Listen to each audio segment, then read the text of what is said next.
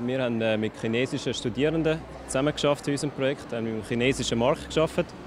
Und zwar haben wir für die ABB im chinesischen Markt ein äh, Servicekonzept erarbeitet für ein Regungssystem.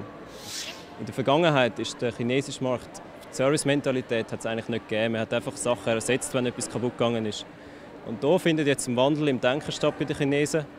Und diese Chance muss jetzt die ABB nutzen. Und da haben wir Vorschläge gemacht, wie sie diese Chance können nutzen können, damit sie ähm, das Potenzial ausschöpfen können. Erstens durch die räumliche Distanz ist es schon relativ schwierig, vor allem am Anfang, wenn man sich nicht kennt.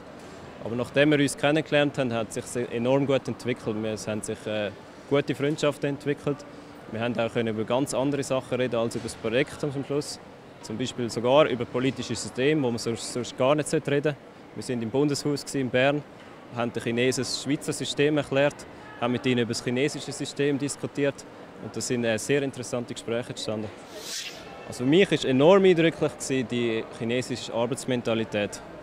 Das heißt, äh, um ein Beispiel zu nennen, wir haben am Sonntagabend einen chinesischen Projektleiter anrufen, noch dreimal am Abend um 9 Uhr und noch nach Informationen fragen. Und ich glaube, das wäre in der Schweiz wahrscheinlich nicht möglich.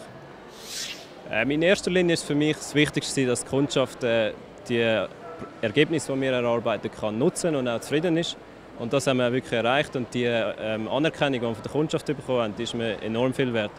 Und dass wir jetzt auch noch von von außerhalb des Projekts ähm, die Anerkennung bekommen mit dieser Nominierung, ist, ähm, für mich macht uns stolz und äh, wir freuen uns auf die Young Leader Award.